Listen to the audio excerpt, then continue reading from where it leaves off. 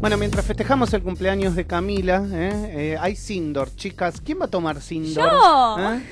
Bueno, muy bien. Me muy encanta, yo que no soy mucho de las infusiones, de bebidas maduras, tipo mate, café. Budín con Sindor y la sumamos a las facturas que trajo nuestro oyente. Sí, sí, espectacular, estoy ¿Eh? chocha. Bueno, eh, nos vamos a meter habitualmente con Quique, eh, ya lo sabés, hacemos los lunes eh, una columna internacional. Eh, sin embargo, hoy le, le dije, Quique, ¿por qué no te metes también un poco en el tema nacional? Y no solamente es una idea que se me ocurrió a mí, también tengo que decirlo que es un poco de mensaje que tenemos de nuestros oyentes a través del canal de Cucú y también han llegado a la página de Radio Sónica, inclusive...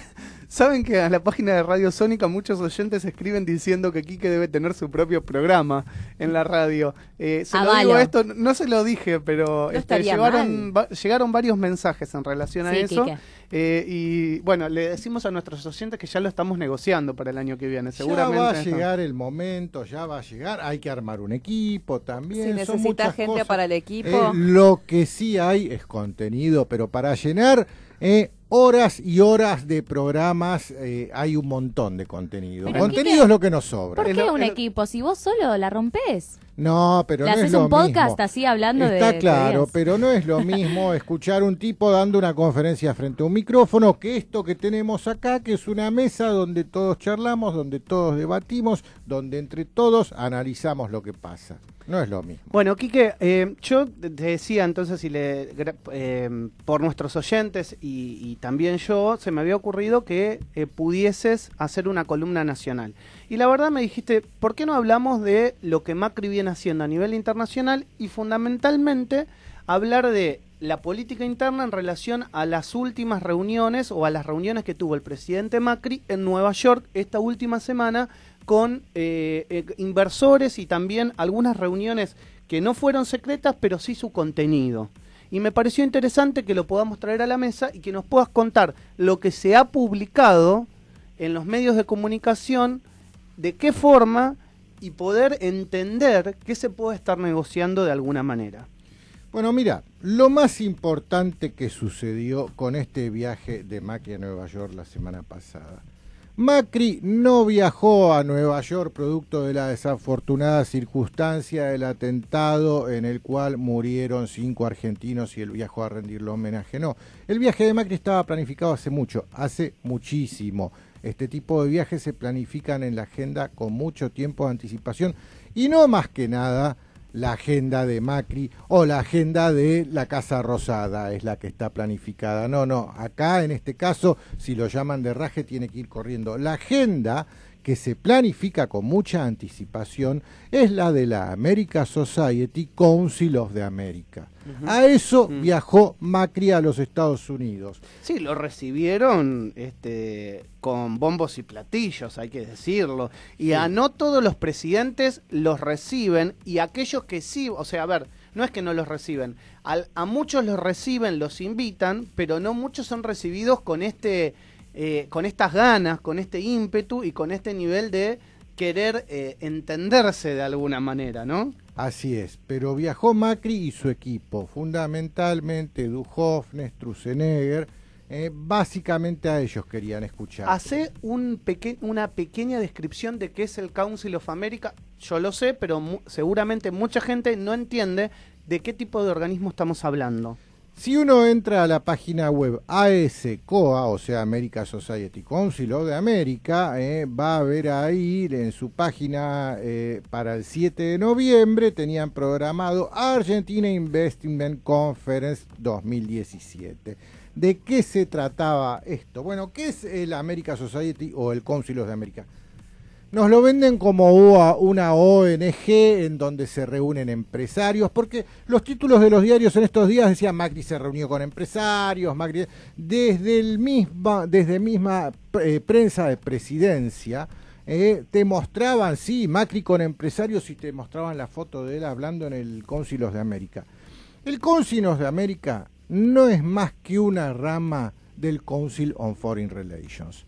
El Council on Foreign Relations es esa institución que eh, mi colega Adrián Salbucci también describió en su libro El cerebro del mundo. Desde el Council of América se maneja, desde el Council on Foreign Relations se maneja el mundo.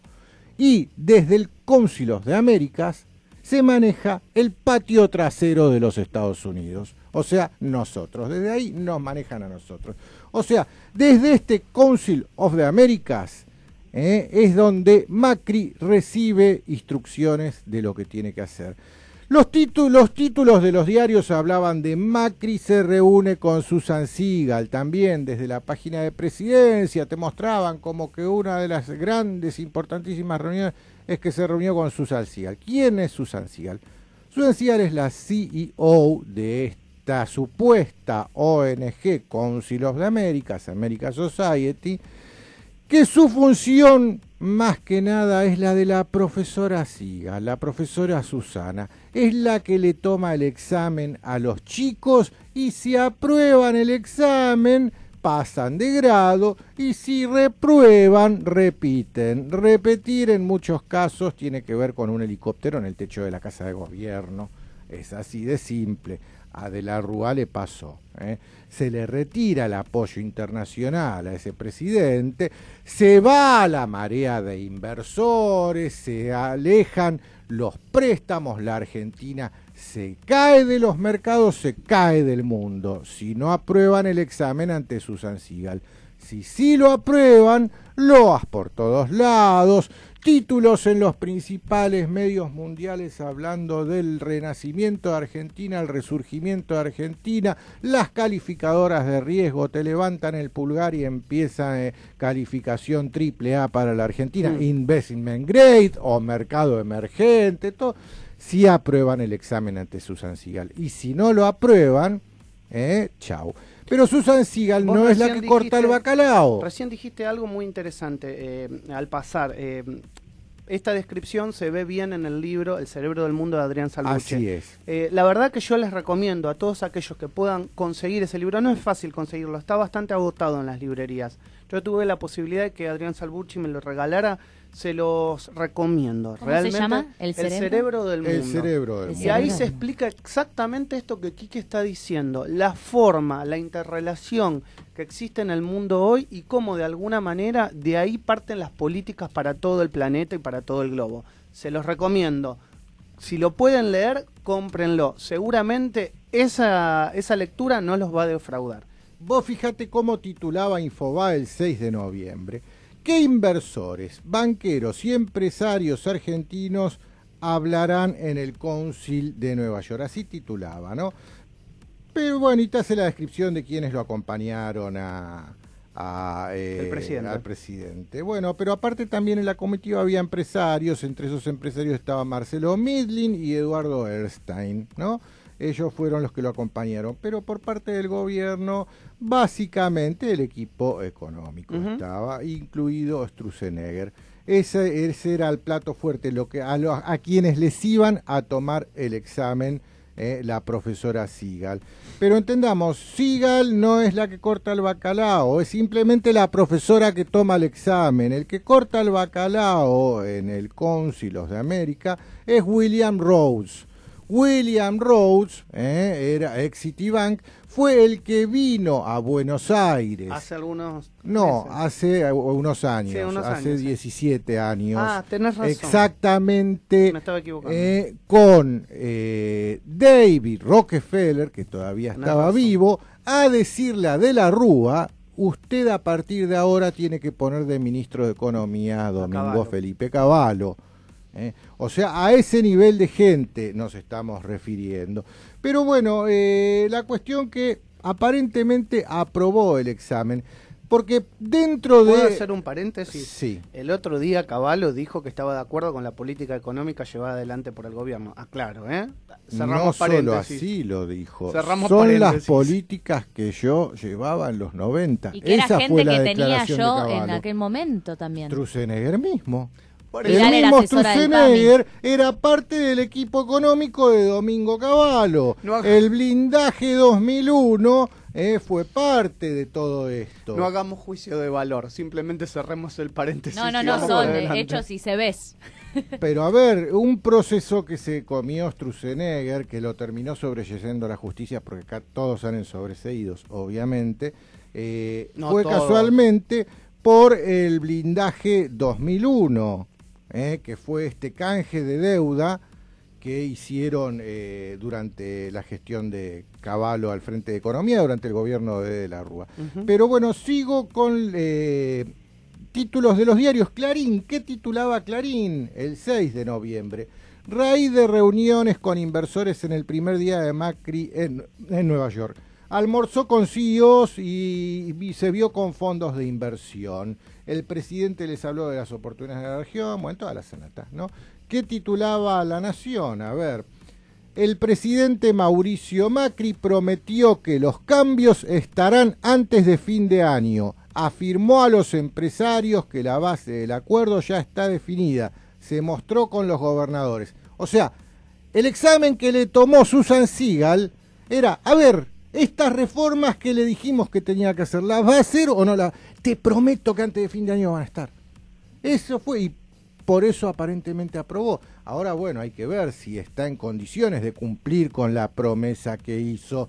Eh, según titula La Nación, eh, afirmó ante los empresarios. ¿Y por qué siempre hablan de los empresarios cuando hablan del Council of the America, la America Society? Porque sus miembros son básicamente los dueños de los bancos, los dueños de lo, los dueños o los CEOs, no, los representantes de eh, los dueños de los bancos, los dueños de los medios de comunicación, los medios de las petroleras, los medios de las farmacéuticas, los dueños de las farmacéuticas, una pata de la industria militar, todo lo que es la industria armamentística, la boina, a ver, le vamos a vender a la Argentina F-18 o Texan de esos de la Segunda Guerra Mundial. Y por lo que aprobó Argentina, los Texan de la Segunda Guerra Mundial, modernizados un poquito. O F-18 no le vamos a ver a Argentina. Bueno, todo así es la cosa. ¿Qué titulaba Clarín? ¿Mm? En Estados Unidos, Mauricio Macri criticó el populismo. Es una fiesta en la que te emborrachan con todo el alcohol posible. Habló en el Consejo de las Américas y buscó transmitir Sí, confianza sí, a los Sí, inversores. discúlpame también, eso es bastante subjetivo. O sea, Macri dice que el populismo es una fiesta en la que te emborrachan eh, con todo el alcohol posible. Discúlpame, Mauricio, son las mejores fiestas. Sí. Sí. Sigamos para adelante, Obvio. o sea. Y lo dijo. No, digo, a ver, son las mejores fiestas, a ver. Sí, sí. O sea, ¿de qué estamos hablando? Es donde la gente está alegre, este, vive, está feliz. vive, está feliz. Tiene, La- sale a las calles de la felicidad, no para protestar, sino de de felicidad. felicidad. Por eso digo, a ver, este, es todo desde el ojo de- en el que vos mires las cosas. A ¿eh? esta gente, si hay algo que les encanta, eh, es ser el que te trae la cuenta cuando terminó la fiesta. Les encanta eso. Claro, ¿viste? Terminó Porque la mira, mira lo que el copete de Te la nota de Macri. bill, ¿viste? Te dicen- La posta. Claro, el Tiene título, razón. el título es este, es una fiesta en la que te emborrachan con todo el alcohol posible. Eso decía el título de Clarín del día 7. ¿eh? Y el copete dice, dijo que el país está dispuesto a hacer el esfuerzo que se necesita. ¿A qué se refiere con eso, Macri? Que lo explique, por favor. Detalles no dan de estas cosas. Pero bueno, cuando terminó toda esta gran, este examen en el Cónsulos de América, la noche tuvo una cena, Macri, ¿no? Eh, que en los medios, de lo único que se hablaba, los títulos apuntaban a la estupidez, a la pavada, a la gansada, y probablemente haya sido adrede puesto por los organizadores para casualmente generar esto. Es como el mago, ¿eh? que mientras te hace mirar esta mano, con esta otra te, te mete la mano en la billetera. Porque esto, ¿Eh? la verdad que cuando me lo contaste, yo dije, eh, la Bueno, verdad que. ¿Qué titulaba Clarín el día 11? Macri. 11 de noviembre. Sí. Macri confesó que quiere quedarse hasta el 2023 en una cena de lujo en Nueva York. Los secretos de la cita con Robert De Niro y un selecto grupo de inversores. Eso, titula Clarín. titula Clarín. O sea, Macri se fue a cenar con Robert De Niro, lo que uno entendería. Ah, qué bien, che, Macri se fue a cenar con Robert. Vamos a leer qué te cuenta la nota de todo esto, ¿no? Este encuentro eh, fue en la casa de Jack Rosen. Fue el anfitrión de la cena. ¿Quién es? ¿Quién es Jack Rosen? Acá te lo cuenta. Eh, a ver qué te dice Clarín. Todo, bueno, fueron los 25 inversores e invitados especiales a la cena, acordaron que en esta cumbre sería todo confidencial. Ah. O, sea, en la casa de Jack Rosen, Jack Rosen, privado, el dueño de casa, puso como condición que todo lo que se charla acá va a ser confidencial. discúlpame, le puso a un presidente de la nación soberano y en ejercicio la condición de que iba a su casa siempre y cuando lo que se dijera ahí era confidencial. Así es, y Macri hay lo aceptó. hay que explicarlo de esta manera. Macri selló un acuerdo de confidencialidad con un privado. Macri selló un acuerdo de confidencialidad en una cena en Tácito, Nueva de York, palabra, obviamente. con 25 empresarios de que no iba a revelar lo que se dijo en esa cena. No creo que esos 25 empresarios sean de empresas menores. Deben Ahora vamos a ver, ahora vamos a ver, pero espérate, primer punto Para- esto lo dice importante. no lo Esto dice lo dice Clarín, Romero, ¿eh? lo está diciendo Clarín en esta nota titulada Mauricio Macri confesó que quiere quedarse hasta el 2023 en una cena de lujo. Eh, Pero bueno, lo primero, Jack Rosen, el dueño de casa, eh, les impuso un pacto de confidencialidad a los 25 invitados. Ahí mismo el presidente de la Nación Argentina debió haberse levantado, le debió haber dicho muchas gracias Enro Rosen por la invitación, pero yo no puedo sellar un pacto de confidencialidad porque yo no vengo acá en representación de Mauricio Macri, yo no vengo acá en representación de SOCMA, yo vengo acá en representación del pueblo Y argentino. no puedo dejar mis convicciones en la puerta de la Casa Rosada. Claro, o en la puerta de su lujosa residencia en el Upper East Side. No puedo. No ¿eh? quiero ser malo, Quique, pero Bueno. esto un presidente tiene que tener los, eh, los huevos suficientes para decirle a un empresario, discúlpame, todo lo que se hable acá, si afecta a mi pueblo, yo se lo Eh, deberé decir a mi pueblo. Pero acá al lado está mi agente de prensa ¿eh? y también eh, va a tomar nota y se va a publicar todo. Pero bueno, ¿quién era el dueño de casa? Jack Rosen. Jack Rosen preside el Congreso Judío Americano. Es un hombre demasiado poderoso, dueño de una compañía inmobiliaria, Rosen Partners, amigo de ricos y famosos, una lista que va desde el propio Robert De Niro, Bill Clinton, gira- bueno, te cuentan quién es eh, amigo de los Bush, de Obama, todo eso. Lo importante acá, Jack Rosen A la preside, creme. preside el Congreso Judío Americano. Y nuestro presidente de la Nación Argentina compartió una cena con él, en la cual también estaba Luis Caputo, el canciller Jorge Fraurie, eh, eh, el gobernador Lipschitz. Eh, y el gobernador Bordet de Entre Ríos, estaban todos, y todos estos aceptaron este pacto de confidencialidad, evidentemente. Discúlpame, también hay que decirlo, entonces estaba el gobernador de Santa Fe, Miguel Lifchit, Sí. ¿y quién el más? de Entre Ríos. y el de Entre Bordet. Ríos, Bordet. Sí, así es. Eh, pero bueno, que hay, hay muchas cosas que pasaron en esta escena. Una periodista, eh, editora de la revista Times, en algún momento dijo si eh, podía hacerle preguntas al presidente. Y el dueño de la casa le contestó, desde luego, pero siempre que todo quede en secreto. Ah, o sea, ¿para qué quiere una editora de Times hacerle preguntas al presidente de la Nación Argentina si no lo va a poder publicar? ¿Para qué quiere? Para su información personal. Bueno, pero lo que a mí más me llama la atención, ¿por qué todos los presidentes argentinos que viajan a Nueva York tienen que entrevistarse con autoridades de estas ONGs eh, sionistas que hacen lobby a favor del Estado de Israel. Esto mismo está muy bien descrito en el informe que hicieron los dos catedráticos de Harvard y de la Universidad de Chicago, eh, Stephen Walt y John Milheimer, ya lo hemos hablado acá, ese informe en su momento. El título del informe es El lobby israelí y su influencia sobre la política exterior norteamericana. Y la conclusión era que este lobby israelí, a través de estas ONGs, como Congreso Judío Americano, como Congreso Mundial Judío, como Congreso Judío Latinoamericano, siempre hay alguna, eh, eh, como AIPAC o como Anti-Defamation League. Eh, a ver, entendamos. Y Eh, sabes qué, que diga judío no quiere decir que gente que brega por el respeto a los judíos en el mundo, por Sí, la defensa de la verdad. claro. No, es gente, son lobbies eh, que lo que buscan. Económicos, económicos y financieros. Ni siquiera que buscan el beneficio del Estado de Israel Sí.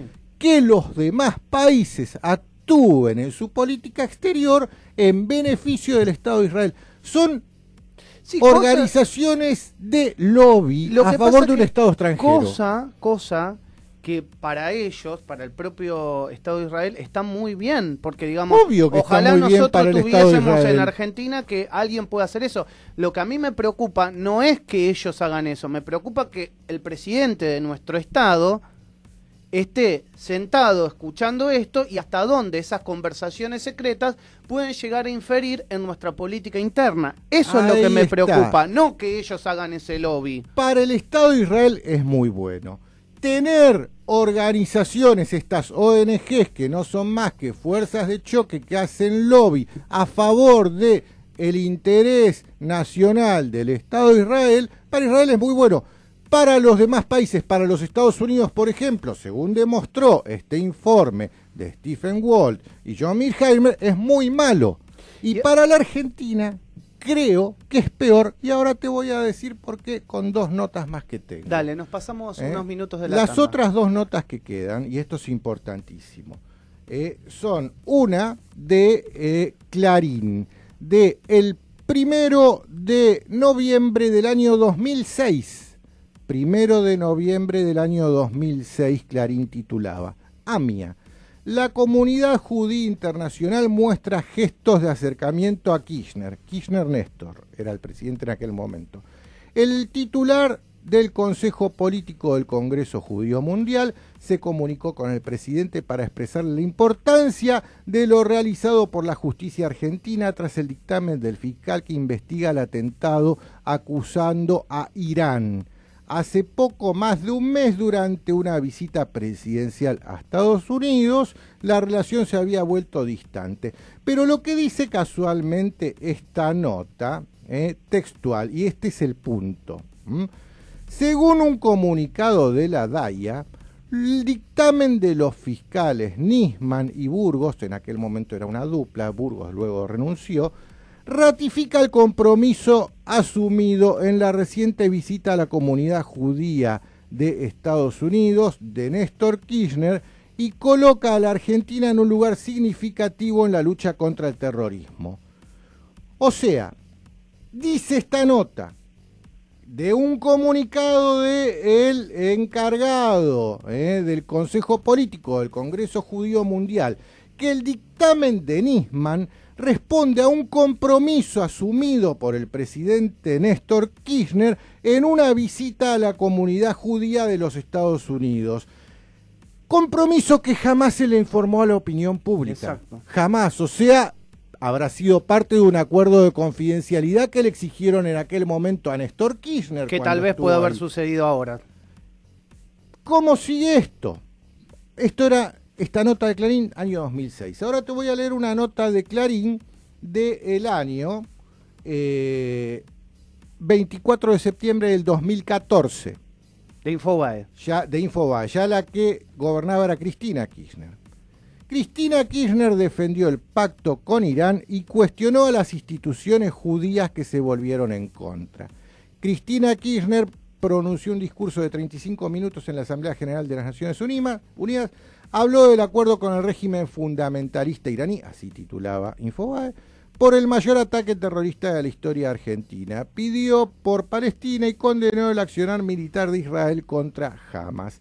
Pero lo que decía Cristina, lo importante, ¿eh? textual, palabras de Cristina, pareció que se desataban los demonios internos y externos. Las instituciones que nos habían acompañado se volvieron en contra. Cuando se decide hacer la cooperación, nos acusan de complicidad con el Estado de Irán. ¿eh? Esta semana nos venimos a enterar que en un emblemático hotel de Nueva York se reunió el canciller de Estados Unidos con el canciller de Irán. Nos gustaría preguntarles a quiénes, a los que acusaban antes a Irán de terroristas, ¿qué dirían hoy? O sea, a Irán lo demonizamos o lo perdonamos y hacemos acuerdos de acuerdo a la conveniencia del momento. Pero al Estado de Israel nunca le gustaron los acuerdos que haga nadie, ni los Estados Unidos, que selló el acuerdo con Irán en este momento al que se refería Cristina, ni la Argentina cuando asumió compromisos en reuniones que nunca trascendieron sus resultados. Néstor Kirchner en Nueva York con autoridades. En el 2006. Claro, en el 2006 ¿Qué habrá sellado hoy Macri? Ahí queremos saber de qué se trata. Queremos porque casualmente hoy, hoy mismo a Irán de vuelta se la está poniendo en el centro del paquete, del, del tapete, como un casus belli que lo vamos a analizar en un rato cuando hablemos del sí, tema queremos internacional. saber, y también esto, Kike, hay que analizarlo con lo que hablábamos cuando eh, hacíamos referencia al caso Santiago Maldonado hace algunos meses. Es decir, la injerencia que algunas potencias extranjeras están teniendo en la Patagonia. Todo puede estar relacionado. Entonces, como uno puede relacionar absolutamente todo, lo que le pide simplemente al Estado es que informe. ¿Qué se hablaron en esas reuniones? No pueden ser secretas porque están en juego los intereses de la patria necesitamos saber. Simplemente eso es lo que uno pide. Cosa, por ahí yo soy un loco delirante teórico de la conspiración que me estoy maquinando en mi cabeza un montón de estupideces. Pero ¿por qué estas estupideces corren libremente en mi cabeza? Uno podría decir. ¿Y por qué esto es secreto? Si esto fuera público, abierto y transparente, no habría lugar para este tipo de lucubraciones. Bien, 11 22 62 77 28. Cuando volvamos un bloque de noticias hablamos de reforma tributaria, de las audiencias públicas por el gas y también mercado libre en la mira de la FIP.